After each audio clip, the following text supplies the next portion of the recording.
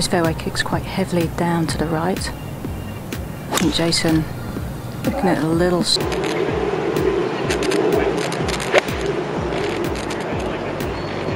Team T. Been a long wait for him, but he's pretty limber, no problem here.